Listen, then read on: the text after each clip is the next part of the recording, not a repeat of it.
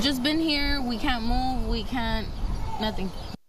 As some families still stuck inside their homes after this week's flooding. That includes the woman you just heard from. Channel 5's Monica de Anda continues our flood coverage. She is live in Mission. And Monica, how's it looking out there? You know, we put about 12 gallons of Clorox here to eliminate all the smell and to eliminate all the germs that we have here. Floodwater covers the entire back portion of the Rodriguez family home. The water has feces. Uh, it's coming out with water spiders. Uh, they have eggs on their back. Uh, there's water snakes.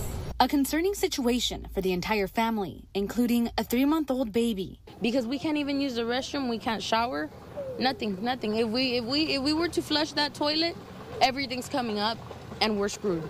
Their worries growing as water continues to rise. It's very hard because you feel you're throwing it up into the air and nobody's listening, nobody's watching, nobody's like caring at all. And just down the street,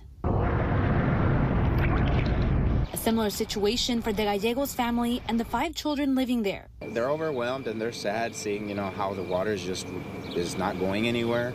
You know, this is their house. This is their, this is you know their they're, this is supposed to be their shelter. Both families with the same message to county leaders tonight. Please come and help. We have a lot of families that are are having to stay here. They have nowhere else to go.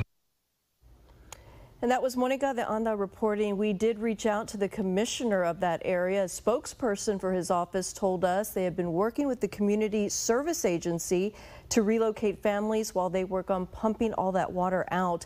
They also got permission from the irrigation district to put a pump in the canal in an effort to help move the water out of there as quickly as possible. If you still need help, you can call the Precinct 3 office. The number is 585 4509.